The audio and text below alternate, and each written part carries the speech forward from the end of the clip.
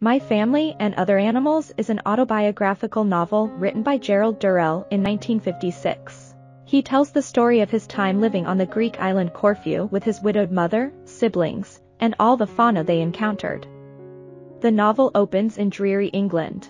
The family consists of the widow, Mrs. Durrell, the eldest son, Larry, the gun-obsessed Leslie, the diet-obsessed sister, Margot, and the youngest son, Gerald, the narrator of the story, along with their dog, Roger.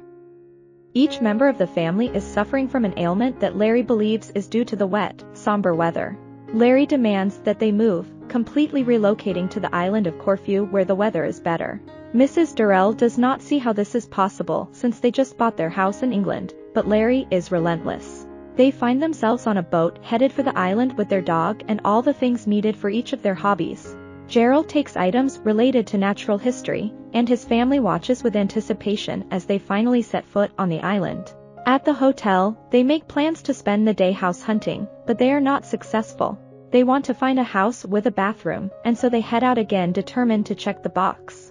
They are accosted by a group of taxi drivers who are pushy and determined to get their fare, but they are rescued from the situation by an English-speaking taxi driver, Spiro. Spiro, all the while telling his history, takes them to a strawberry pink villa after a series of twists and turns.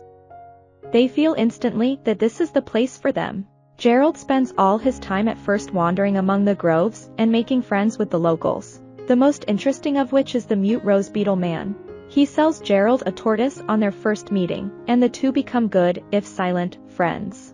Mrs. Durrell puts a stop to Gerald's unhindered excursions when she hires a tutor, George. George is a polymath, but he recognizes that Gerald's love of bugs and animals cannot be stopped. He decides to integrate zoology into their daily lessons. Meanwhile, Larry has decided to invite friends to stay on the island, and when Mrs. Durrell protests that there is not enough space, he talks her into moving again. This time the villa is yellow, and with the increase in space, Larry's friends begin to arrive. They are wild, creative, and completely over Mrs. Durrell's head. The increase in space also allows Gerald more opportunity to pursue his hobby, but George leaves the island. Gerald has a mishap with a box of scorpions and is sentenced to a French tutor, a Belgian consul.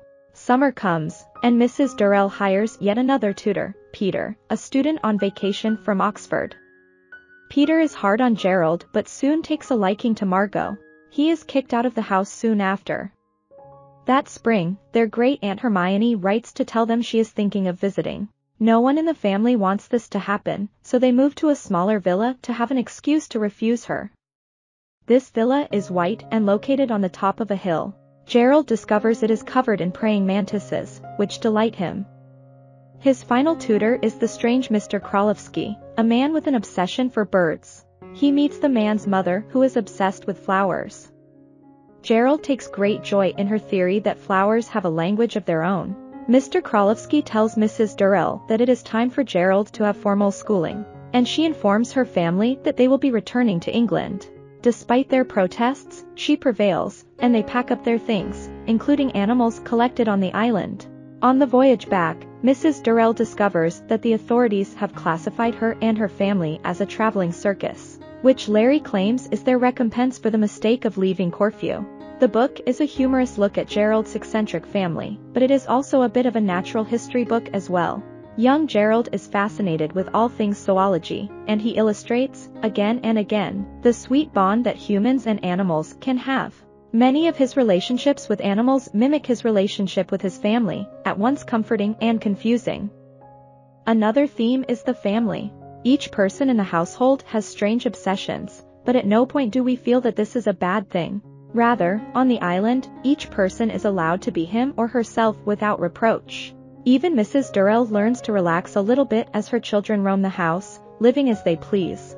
They each find a path that allows them to express their interests more freely than what they had in England. The book takes place over the course of five years, and although the family then returned to England, it was a formative time in Gerald Durrell's life. It allowed him to explore, learn, and create relationships with freedom and childlike wonder. I hope you enjoyed this video leave a like if you did and be sure to subscribe thank you.